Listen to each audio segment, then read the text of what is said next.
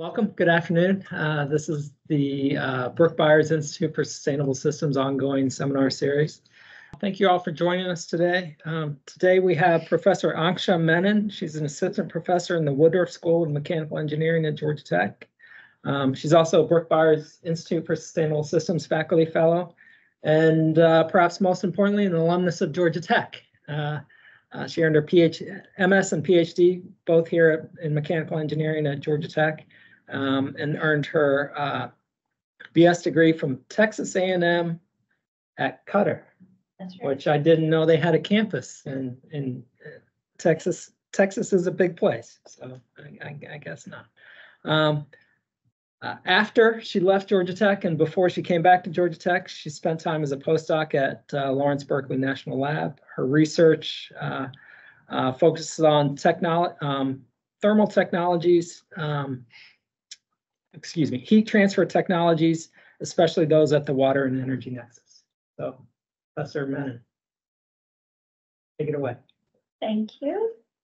And thank you, everybody, for attending in person as well as online. Hopefully, my voice will, will come through clearly. The pollen is not helping, uh, but I will try my best. Uh, so today, what I wanted to uh, share is some of the work that we're doing on decarbonizing water and energy systems. And when I talk about energy, I'm uh, usually talking about thermal energy or heat. Uh, so I'm an assistant professor in mechanical engineering, started the, in this role, uh, just, this is my third year. Uh, and I direct the Water Energy Research Lab. So we're primarily an experimental research group and we have lab space in the Marcus Nanotechnology Building. And then, as Michael said, I was at Lawrence Berkeley National Lab before that and at Georgia Tech as a student uh, myself. So the reason why uh, we work on technologies for decarbonizing water and energy systems, I'll walk you through sort of what our motivation is and what are some of the different projects uh, that we're working on. So everybody's probably heard of this water energy nexus, uh, which essentially means that we use water for energy uh, production. So, you know, traditionally that is for extracting fossil fuels, refining them, uh, producing, you know, gasoline or natural gas. And then we also use a lot of water for cooling our thermoelectric power plants. And on the flip side, we use a lot of energy for water production, right? So whether we're extracting water, we're purifying it, treating it, uh, or we're distributing water, there's a lot of energy involved in all of those processes. So that's the energy for water component. And so that's really what we refer to as this nexus, where both water and energy are very coupled. And so we think about as we transition away from fossil fuels and towards renewables, maybe that water for energy will decrease significantly. But actually, if we look at what the clean energy um, future is going to be, we realize that the water demand is only going to go up. Okay, and the main reason is we're going to need a lot more um, water for mining different energy materials. Water is uh, used as a stripping solvent for a lot of carbon capture. Green hydrogen production is going to require fresh water for the electrolysis process. And even if we get away from our traditional thermoelectric uh, power plants, we're going to need water for geothermal, for concentrated solar, as well as for like biofuel production um, for the transportation sector. So clean energy future is actually going to exacerbate uh, water demand. Uh, so this coupling between energy and water will really just continue to be uh, very prevalent. So my group, what we do is we work on both the water and the energy side. So specifically uh, on the water side, we are looking at uh, we look at how we can use renewable energy to drive separations. Uh, so the main type of separation we focus on is desalination. Uh, and we use desalination either with solar thermal energy or with renewable electricity. Uh, we look at processes where we can really concentrate the brine that comes out from desalination. And we're also looking at how do we move from these very large scale centralized uh, desalination systems to distributed systems uh, that can produce or treat water co-located with end use. Uh, we combine both membrane and thermal separations uh, for producing fresh water, and we also do some techno-economic analysis to understand what, what that levelized cost of water is. On the energy side, we primarily work, like I said, on thermal energy or heat, uh, and mainly we're looking at applications uh, such as buildings where you need low temperature heat for space heating or hot water. So anything under 100 degrees Celsius. And then we're also interested in looking at high temperature heat, and that's mainly for industrial processes. So if you're trying to decarbonize uh, the heat or thermal energy requirement for cement production, steel, uh, that's where we can do high temperature thermal energy storage. We also have a couple of projects related to dehumidification and cooling. Um, how do we do this without traditional vapor compression technologies? Uh, and then I have a project with the Renewable Bioproducts Institute where we're looking at how do we develop thermal insulation uh, using natural fibers like hemp and kenaf. Uh, and so on the energy side, we look at levelized cost of heat. Um, what is the amount or what is the cost associated with producing a kilowatt hour of heat? So today I'll just touch on like one project in each of these topic areas, but if anybody's interested in discussing the other ones, uh, I will be happy to talk through those. Uh, but what we really do is we operate at this intersection of thermal science and engineering and functional materials. Uh, so we work a lot with materials in order to really leverage those phase transitions or interesting uh, material properties for these applications. So we'll start on the energy side. Uh, so why do we focus on heat, right? We've heard a lot about like electricity decarbonization, grid decarbonization. Why does heat matter? Obviously for some of you in the room, you know uh, why heat is important. But in general, if we look at global energy consumption, you see that heat is about 50% of uh, energy that's consumed. And most of that heat is either used in buildings uh, or for industrial processes.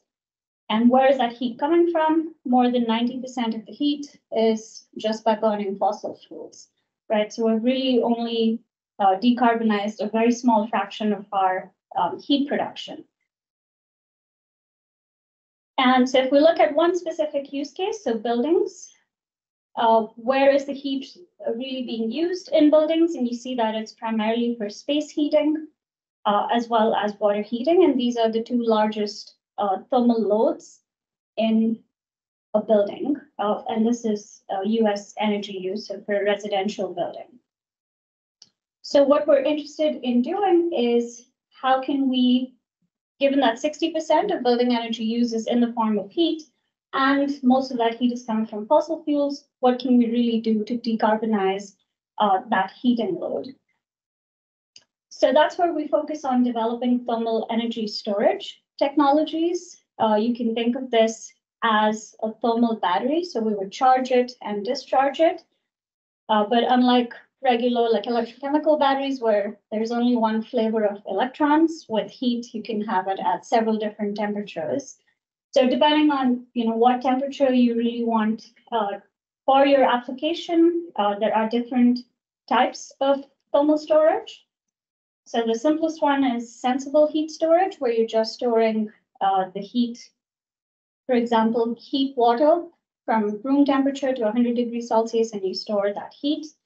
Uh, the other option is to do a phase change uh, process, so just melting ice, uh, for example. And then the final option is a thermochemical reaction. So here you're storing and releasing heat uh, in a chemical reaction. So it's the heat associated with that reaction. We primarily focus on these thermochemical reactions uh, for thermal energy storage because in order to store about 10 gigajoules of heat, you can see that the volume associated with these different uh, technology options changes. And for a building, we really want something that's very compact because space is limited. And so that's why we work with uh, these thermochemical materials because they're have very high volumetric energy densities.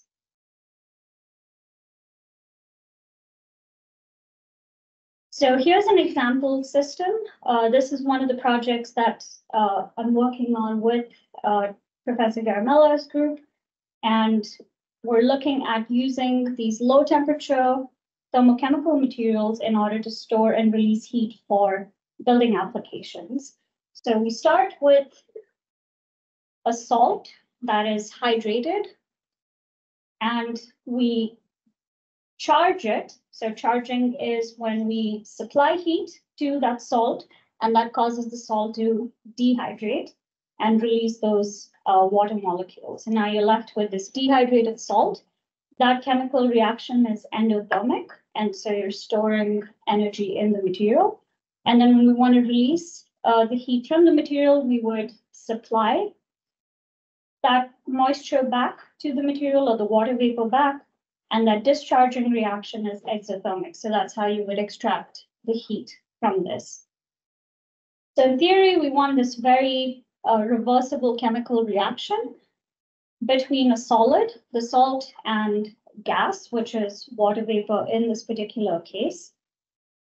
And the way we would use it in a real application is you would create a packed bed of uh, this salt material and you would charge it with uh, hot air during the day or when you know excess energy is available and then that is stored and then later in the day when you need uh, the heat you would uh, drive moist air through that and that would release uh, you would drive air through it and that would release the heat and you can use the heat depending on the temperature range for either space heating or for hot water. Uh, so this is the you know sort of material class we work with because it's for building applications, so anything under 100 degrees Celsius, these salt hydrates uh, work best. Our project is really focused on how can we integrate this thermal storage with a conventional vapor compression heat pump, and that would allow us to boost the overall um, COP of uh, the heat pump. And that can be used for providing either load savings or load shifting uh, to add uh, stability to the grid. When we actually work with these uh, materials, we realize that so heat and mass transport are occurring simultaneously, but there are a lot of irreversibilities with the reaction, and that's what causes uh, these batteries to actually degrade in performance over time. So an example of this is, again, in theory, we expect it to be a solid and a gas that are interacting uh, with each other. So if we have our solid, the water vapor would come in and just occupy the uh, like spaces within the crystal structure of the solid itself. Uh, so it would be a solid gas reaction, but in reality, we can have any kind of liquid formation. For example, your salt can get very wet. We call that deliquescence.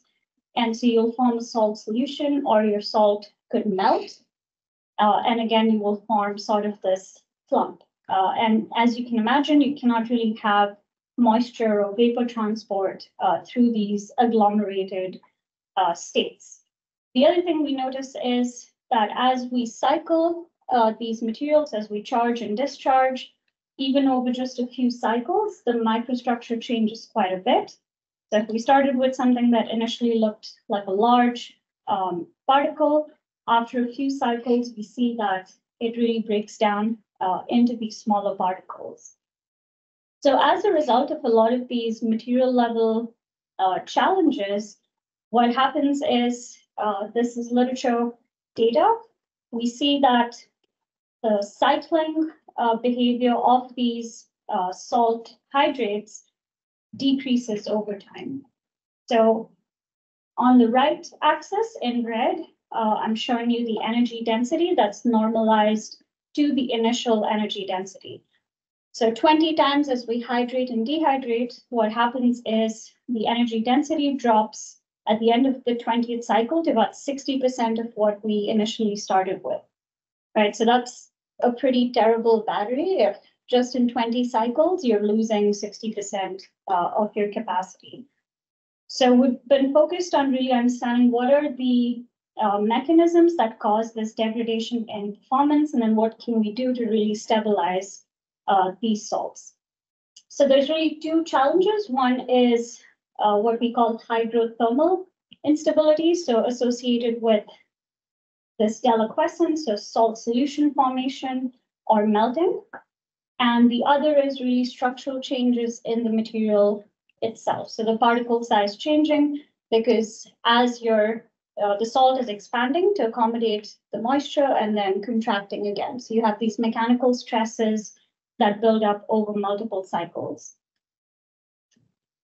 Uh, so over the last year, we've really been focused on how do we uh, improve that stability. So we've done a number of different things. So we've looked at uh, optimizing the particle size itself, and we can borrow a lot uh, of information from you know learnings in the electrochemical battery world and apply it to these systems. So particle size is one of the uh, critical parameters. And so what we found is if you ball mill your starting material, if you just break it down into particles that are less than about 20 microns, uh, then you reach like a critical size after which the particle is stable. It does not break down into smaller and smaller pieces. And so that micron size uh, particle is really because that's where you can do, you can look at how the mechanical stress uh, changes within the particle. And then you see that if we come down to this size, that's where we would have a stable uh, size. So we pretty much ball mill all of our salts and you also see that once you work with these smaller particle sizes, you can improve uh, the rate of your reaction. And that's because smaller particles have a larger surface area uh, to volume ratio. So you're able to get the moisture uh, in contact with a larger surface area, and that allows us to improve the overall um, reaction rate. We also see this is for the exact same material as what I showed you on the previous slide. Um, so this is strontium chloride. And once we ball mill the same strontium chloride to the smaller particle size and we cycle it 20 times, uh, under the same conditions, you see that uh, the behavior is a lot more stable. So we don't see that same uh, drop in the energy density. So we're able to maintain the energy density within about like 95% of the initial value just by controlling uh, for this uh, particle size. Uh, some of the other things we've done is uh, different salts work under different conditions. And so we've also looked at salt mixtures where we combine two salts with very different hydrothermal behavior.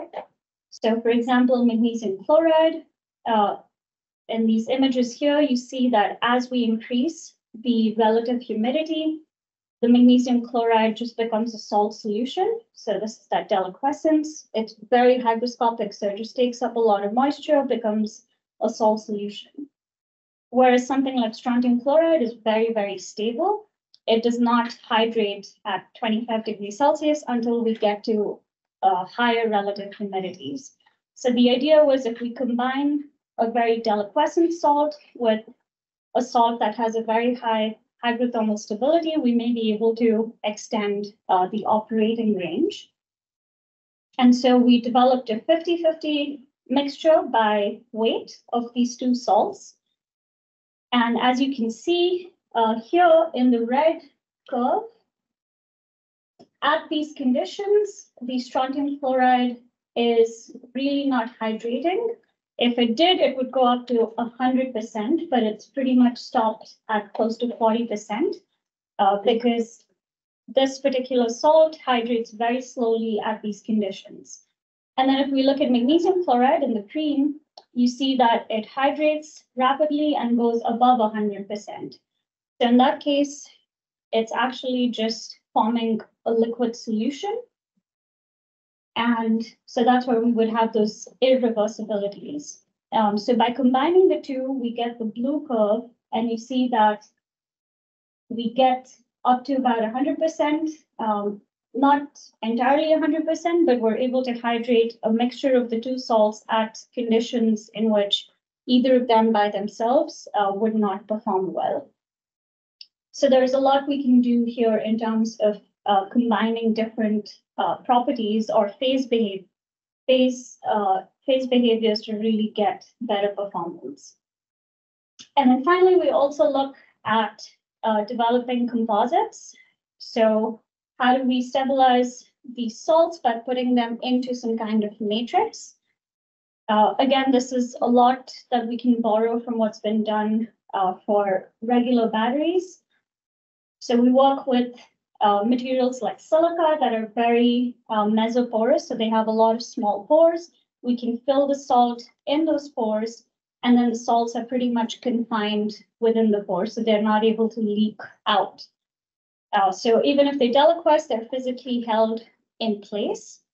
And we have larger pores that allow for water vapor to diffuse in and out. So you're able uh, to keep the salts within the matrix and at the same time create sufficient pathways for the water vapor to transport in and out for your reaction to alcohol. Uh, we also look at using uh, polymers instead of silica. So a lot of polymers are very are vapor permeable. Uh, so for example, alginate will allow water vapor to go in and out, but it's hydrophobic, so it is not like liquid water. So we again we can hold the salt in place within a matrix uh, in order to stabilize it for maximizing the cycling. So this is some of the work we're currently um, doing. So we're characterizing these materials and doing long-term cycling studies. Uh, beyond that particular class of materials, as I mentioned, we're also looking at uh, high temperature uh, thermochemical energy storage. So that is in this range of 400 to up to about 1500 degrees Celsius. So the idea is we would take uh, renewable electricity and use it to joule heat uh, these thermal storage materials to get to these high temperatures.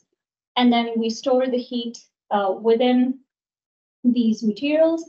And then we can discharge uh, the heat, uh, usually using air as a heat transfer fluid, to produce high temperature heat for a manufacturing process, or we can convert that heat into electricity using um, a traditional uh, heat engine, or at high temperatures, you can look at thermophotovoltaics. And then you can use that electricity for different applications.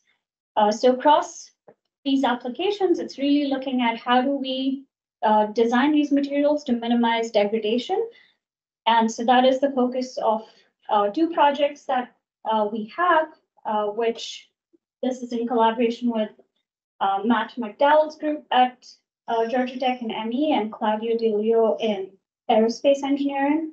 And we're working with uh, Lawrence Berkeley National Lab to really characterize uh, degradation mechanisms in high temperature uh, materials. And the goal is really to be able to develop these very reversible uh, batteries in order to meet two of these earth shot goals. So one is the industrial heat shot, and the other is this long duration uh, storage shot.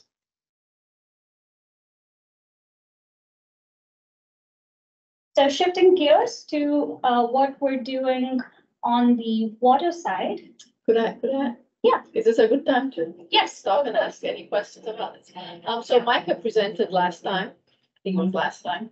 And it was interesting because, uh, what he was presenting is how the cost, um, of the material relative to the energy density. What was that? It was energy density and two dimensions you had, right, Micah? Um, The, the cost of the lithium ion battery cells and then also the increase in energy density.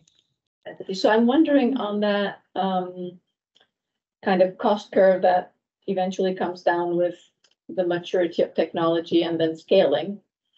Where is, or is this very early stage, so it's not, um, um, are there prototypes of this that are working? There And are, what is the cost? So there are prototypes of both low temperature as well as high temperature um, thermal storage. Most of them have been developed for, in Europe for like longer term or seasonal storage applications. where they will only cycle it a couple of times a year, right? So they're storing all of their energy during the summer and then releasing it in the winter.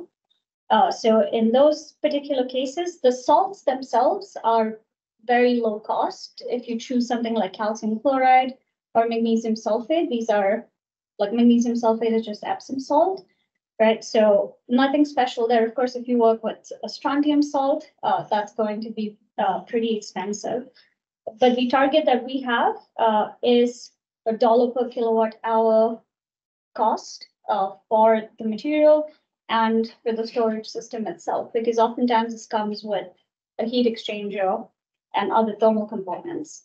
Uh, so we're targeting costs around ten dollars per kilowatt hour, um, whereas batteries are usually like an order of magnitude more. I see. Yeah, but it, again, we would never compete with a traditional electrochemical battery, which can charge discharge very rapidly. Mhm. You would never use heat uh, for a system like that, so this would be something that's like, say you're storing energy for eight hours, uh, for a couple of days, and then all the way up to that seasonal time scale. So again, not being a, uh, expert in this area, what are the technologies you're competing with then?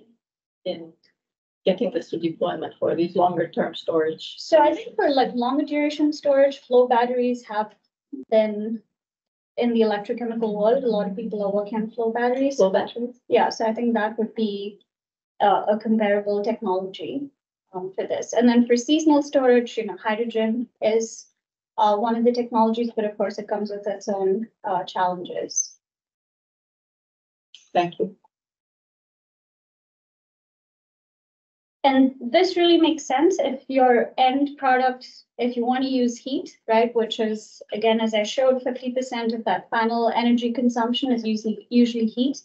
So to store it as heat and use it as heat, um, that's where there are advantages to thermal storage. Um, there are also groups that do like sensible heat storage with, uh, just rocks, so what they call like dirt cheap, because it is really just dirt. And you can just store um, energy across large temperature differences in, you know, rocks and dirt as well. All right, so on the water side, um, the reason why we're really looking at uh, desalination is because although it rains here so much, we don't realize that uh, actually global water stress is uh, increasing. And if we look at just by the end of the decade, our projections indicate that over half the global population will experience uh, severe water stress. So what we mean by severe water stress is that you're withdrawing more than 80% of the naturally occurring fresh water. And so you really need other sources uh, to augment your water supply.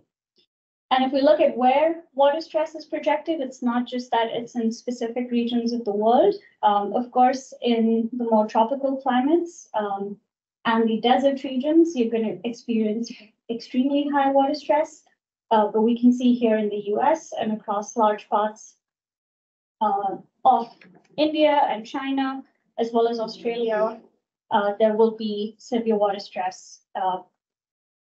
And so this is where like desalination is an interesting technology solution. So desalination essentially is where we're removing salt from the water. So it is a separations uh, process. Uh, the challenge with current desalination is that 99% of operating uh, desalination plants are driven by um, fossil fuels. And so the carbon footprint is about five kilograms of CO2 per cubic meter of water that's produced. And we produce 100 million cubic meters of water a day. Right, so that carbon footprint is on the gigaton uh, scale. The other challenge with desalination is that it produces this brine. Um, so this high salinity or very salty byproduct. Uh, that's often a challenge uh, to dispose. So if you have a seawater desalination plant, they just dump the brine back into the ocean. Uh, but that's obviously causing a lot of challenges. And then if you want desalination in inland locations, uh, there really are no good disposal options for the brine.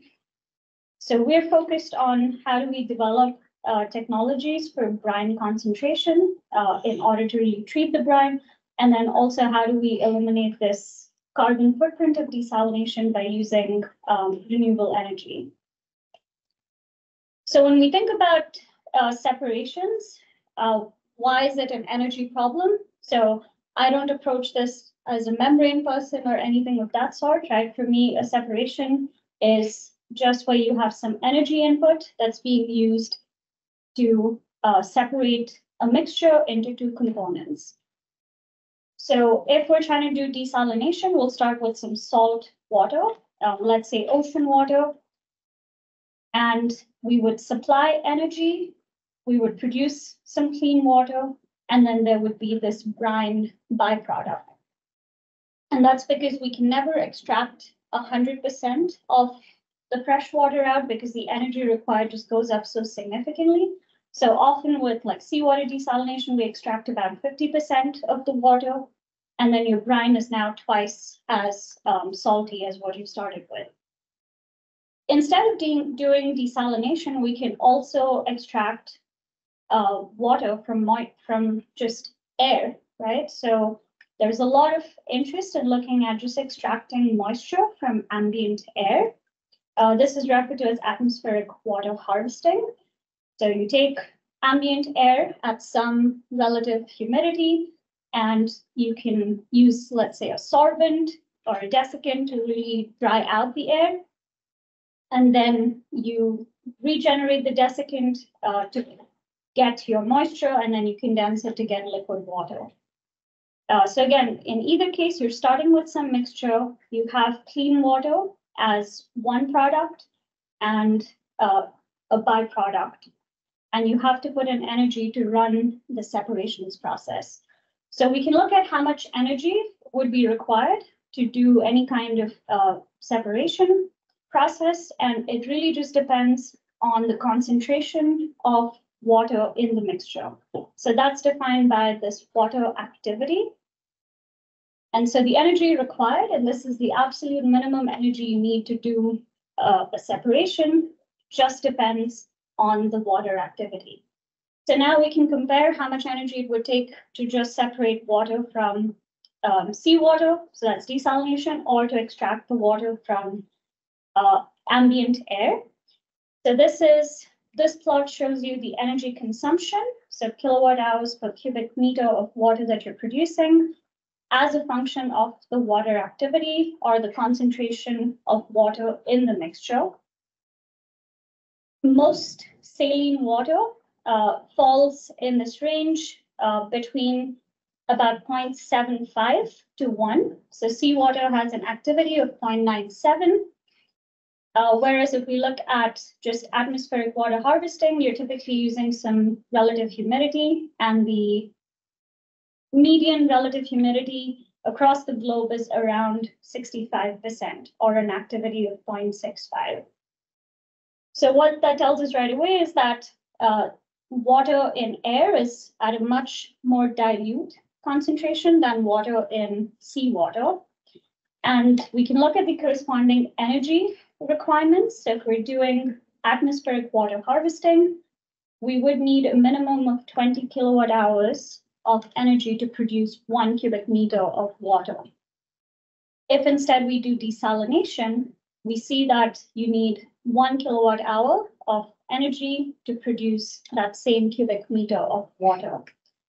So with this very simple like thermodynamic analysis, uh, we can see that extracting uh, water from a saline source, so doing desalination is energetically much more favorable than doing atmospheric uh, water harvesting. Uh, so we've done some techno-economic analysis as well on this to show that the costs associated with desalination can also be a lot lower than atmospheric water harvesting. And so what we're doing to tackle the brine problem, because I mentioned with desalination, you'll always have this byproduct. Uh, so what do you do with the byproduct. So we're developing uh, what's referred to as uh, a brine concentrator. So it would take the brine from a desalination process and then concentrate it as close as possible to saturation. So where the salts crystallize uh, out. And so the way we do this is really a, a fairly simple process referred to as air gap uh, diffusion distillation. So it's two plates uh, that are held at two different temperatures. And because of that difference in temperatures, you will have a partial pressure difference between your fluid flowing in both the plates, and that's what's going to cause uh, mass transfer to occur. And so starting in the bottom here, we'd have our desalination uh, brine that comes in. It flows up through this channel. We call this our condenser. And we can add in some extra heat, and then we will flow it down. This heated solution will flow it down uh, the evaporator. The evaporator and condenser are separated by an air gap, and so the water vapor will move from the hotter surface, the evaporator, to the colder surface, the condenser, and it'll condense on that outer plate. And as it condenses, it releases the heat of condensation, and that heat is used to preheat uh, the fluid that's flowing inside the condenser.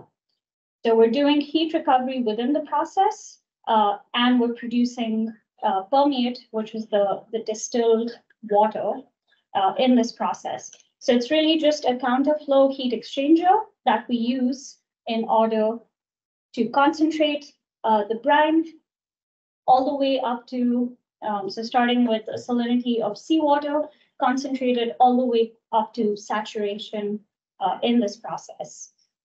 We work with plastic heat exchanger surfaces uh, because metal heat uh, heat transfer surfaces corrode under these um, high salinity conditions. Uh, so we've done a lot of uh, heat and mass transport modeling in order to design the optimal, uh, you know, length and surface area associated with this air gap diffusion distillation system. And how do we really get uh, four different flow rates? How do we get to uh, high enough uh, temperatures? And how do we maximize heat recovery? So here, what you can see is the hot stream starts off at 90 degrees Celsius and cools down to about uh, 30 degrees Celsius. Our cold stream comes in at 25 degrees Celsius, and just from recovering the heat uh, through this latent heat recovery, it's able to get uh, to about 80 degrees Celsius. So most of the heat is just recovered internally in the process. You only need to add about 8% um, as external energy in this uh, system. The rest is recycled in the process. So we currently have a demonstration uh, of this that we're running uh, in the lab and showing that we can do this continuously as the salt continues to, to precipitate. Uh, we're also looking at other uh, phase separation. So instead of doing evaporation of water, which is very energy intensive, and that's why we do heat recovery, uh, instead of that, we can look at materials that can exhibit different types of phase behavior. Uh, so for example, we work with ionic liquids that are thermally responsive. So these particular materials have a chemistry that allows them, so they have a hydrophobic and a hydrophilic component. And so they exhibit this really interesting phase uh, behavior where at room temperature, it's a single uh, homogeneous mixture with water. And then as we heat it up, we go past this two phase boundary and we form uh, two distinct phases of water and ionic liquid. Uh, the water is less dense, so it floats on top of the ionic liquid uh, layer. And so we really use uh, this type of liquid-liquid phase separation uh, in a forward osmosis desalination process.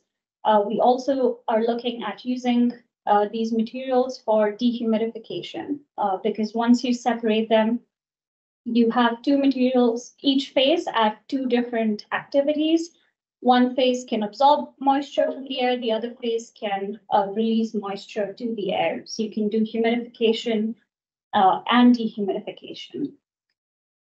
And these uh, particular LCST materials, lower critical solution temperature behavior, uh, materials are interesting because again, that phase separation energy is a fraction of what the enthalpy of vaporization is for water. So we can avoid evaporative transitions and do a liquid-liquid phase separation. Uh, so with that, I just want to acknowledge my group, uh, my students that have been, you know, working on these different projects and the funding associated with, uh, this work. So most of what I talked about today was, uh, funded by the NSF and the Department of Energy, but we have some other projects as well. Uh, so I just listed all of those different sponsors. Uh, so with that, thank you so much again for attending, and if you have any questions, I'd be happy to answer them. Good, thank you. Are there any questions um, online? If you'd like to answer a question, uh, you can go ahead and, and uh, unmute or, or raise your hand and we'll be happy to get to you as well.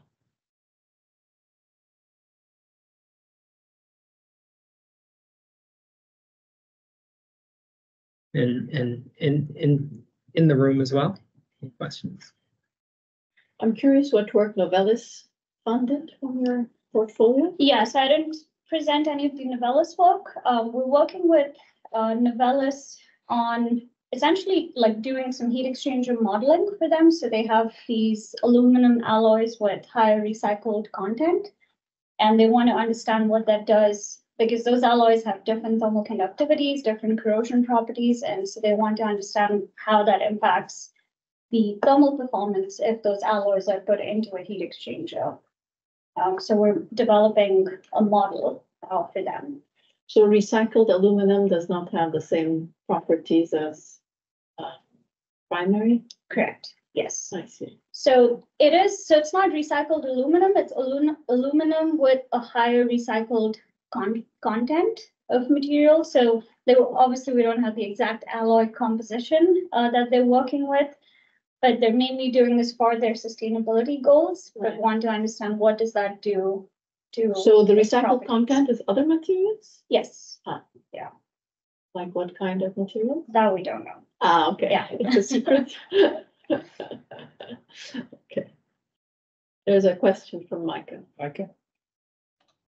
Hi, yes. Uh, so when you talked about the cost targets that you were aiming for, you know, very inexpensive materials, but then the cost would be higher when you considered kind of the heat exchanger, for example.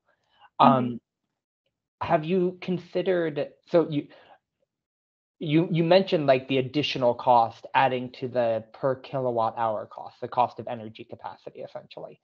Have you considered models by which you separate the cost of essentially that power capacity, right? Thinking of the heat exchanger in terms of its power capacity because it inherently doesn't have a energy capacity. Just because that's that's something that has been increasingly common in the evaluation of let's say redox flow batteries and power to X, you know, power to hydrogen technologies as a way to kind of figure out which costs matter the most. Is that is that something you're already doing in your levelized cost analysis? So the levelized cost of heat analysis that we've done is just comparing uh, different existing technologies. We haven't done uh, an analysis for our exist, our actual project itself. And that is one of the end of project goals. But we would look at what is the material contribution uh, to the cost, what is the heat exchanger component contribution to the cost. And that would just come down to what our final system design ends up being. But there are separate cost targets that are just per material um, versus per like system level. So we would be looking at both of those, but we don't have that yet.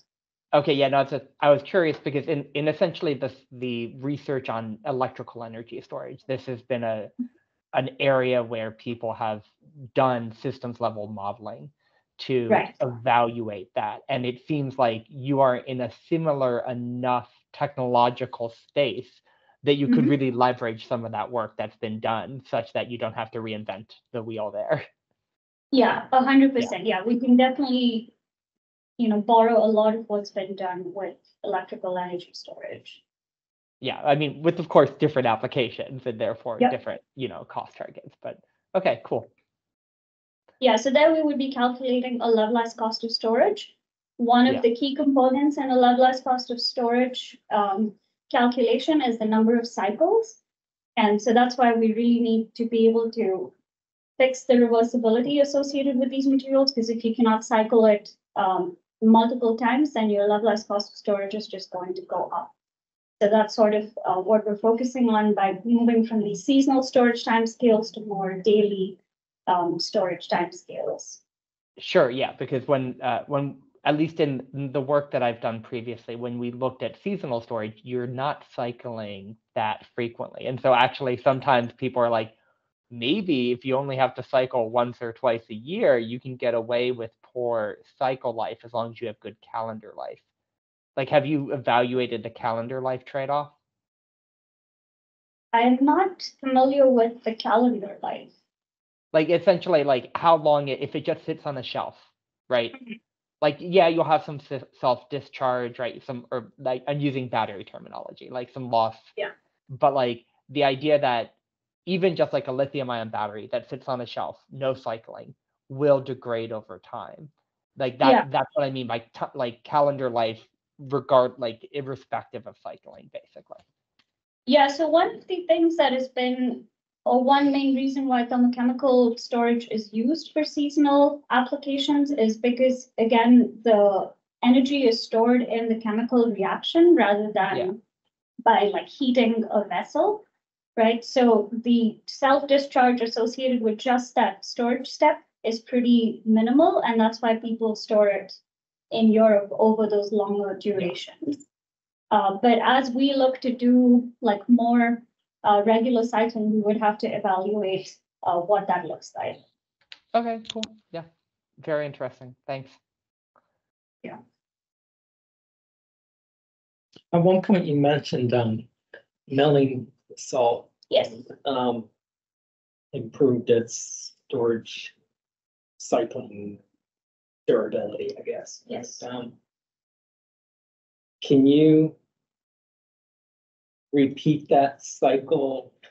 Like if at the end of twenty cycles you remilled it again, would that rejuvenate the, so with, once you mill it down to this critical size, it's stable. It no longer wants to break down into smaller particles. So that what you did like, for twenty cycles? So if you did that for two hundred cycles, it would, it would stay stabilized at about ninety-five percent of its original. yes, because, so we ball mill and then we cycle. But if you did not do the ball mill and you started with larger particles and cycled it over, you know, twenty or thirty cycles, it would come down to a smaller particle size. But what we do is just upfront, we ball mill it down to this critical size and then it, we can cycle it for hundreds of cycles and it would be stable. Because that is. Do you know the the- reason? What, what's the physical or? Yeah, so there is, we have, we have a model, um, so it really comes down to what's causing it to break down in size is the fact that there are these stress concentrations. So you just have to compare the um, stress that's building up in the material with the actual like Young's modulus and the ultimate yield strength of the salt. So if you can use a very standard uh, like mechanical stress model in order to characterize this. And those models predict that the critical particle size, assuming that you have a nice spherical particle, is about five microns. So once you get to five microns, the yield strength of the material itself is it's able to withstand the stress concentrations. So that's really what allows us to do ball milling and get down to those critical uh, particle sizes. So beyond that, it's, that's the size that it's happy at. Um, So it no longer breaks down. Is it, is it difficult to mill to the? It's not, it's very easy to mill down, it's yeah. Low cost. Uh, I haven't looked at cost specifically, but I mean, we just use uh, like zirconia beads and um, aluminum milling jars in order to mill these down. And then you can just use different uh, particle size meshes in order to make sure that you have a uniform distribution. It's basically a rock tumbler, right? Yeah, that's, that's actually exactly all it is, Yeah. Yeah. but just with a really hard material that allows this to break It's down. just amazing that something so simple creates so a very different property. And, and the milled material has the same thermal capacity as the non. Yes. Yeah, it's really, doesn't change anything about the chemistry or the phase behavior of the material. It's just changing the particle size. Is there any way to use the brine as the medium in which you store? Brine is a universal waste product, right? Nobody's found it useful. Well, a lot of people are looking at like extracting critical materials from brine, but again, you deal, you're fighting thermodynamics, right? Because the concentrations are pretty low. So the energy you need and the cost associated with that extraction can be significant. You're doing some, uh, um, Where concentrating, Yes, so what we're doing is we're trying to, we're, so we're concentrating the brine. uh, So instead of recovering only fifty percent of the water, we want to recover ninety-five percent of the water. So you're left with really this slurry at the end. but you're trying to optimize for recovery of water. What if you tried to optimize for recovery of brine? If there was a product of brine that you want? So you can, uh, but I think that's like very much early stages, because there is no uniform composition for brine. So if the brine was from a particular source, it would be rich in a specific mineral. Uh, so for example, like geothermal brines, um, or Salton Sea in California has a higher lithium content. So everybody's looking at doing lithium extraction from that brine. Uh, but if we look at a brine over here or just regular ocean water um, desalination, it's just very heavy in sodium chloride and some sulfates, right? So you could do, you can produce um, commodity salts uh, from the brines. But some of these more exotic things like lithium or selenium extraction, I think we have a lot of like uphill challenges. Sea salt producers. Yeah, so sea salt, like a calcium sulfate, all of that we can extract pretty easily. Uh, because those are in a very high concentration. What kind of salts do they use in these molten salt things that people build? Like the concentrated solar application? Yeah, Yeah, so those are typically chloride salts. Yeah. Um, so some of those, yes, you can extract from brine. It's the, naive that, I don't know. no, it's, not- it's, I mean, there's a lot of interest in extracting minerals from the brine. I just, I'm not convinced that it would make economic sense. So we'd rather focus on extracting as much water as possible.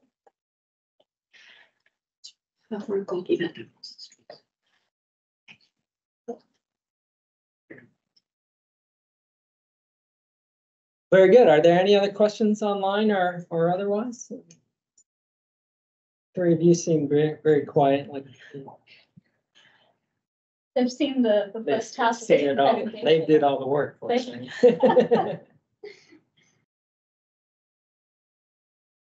Okay, well, very good. Well, thank you very much. Yeah, it's wonderful. Thank you. And uh, thank you all for joining us online as well. Uh, we hope to see you in person uh, very soon. I think we have two more um, seminars in the series uh, before we close out for the spring. So uh, two weeks from today in April and four weeks from today in April. Thank you all. We'll see you soon. Thanks, everyone.